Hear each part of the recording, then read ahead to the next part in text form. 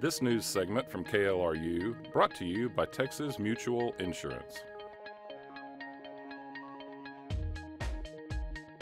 In the late 1920s, the city council decided that we're going to pass an ordinance that every person of African descent who desires to have water, if you wanted to have uh, utilities, you had to move to East Austin.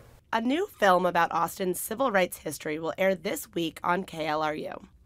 It's a co production with Alpheus Media, born out of an effort to record oral histories of some of Austin's civil rights heroes.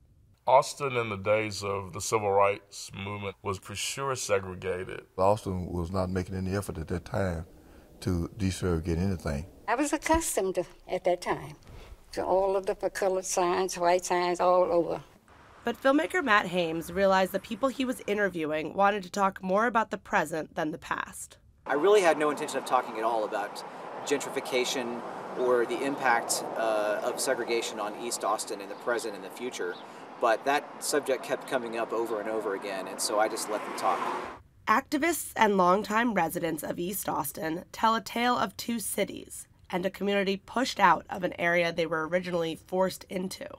The price for raw land has gotten expensive, for existing houses has gotten expensive. When we say we don't mind sharing, we didn't mean come in and move everybody out. Out of what were our neighborhoods. When you have somebody walk across the street and say to your face, We saved this neighborhood. That's like me walking in your house and saying to you, I don't like your drapes. Austin Revealed Civil Rights Stories airs Thursday night at 8 on KLRU. For KLRU, I'm Allison Sandza. This news segment from KLRU was brought to you by Texas Mutual Insurance.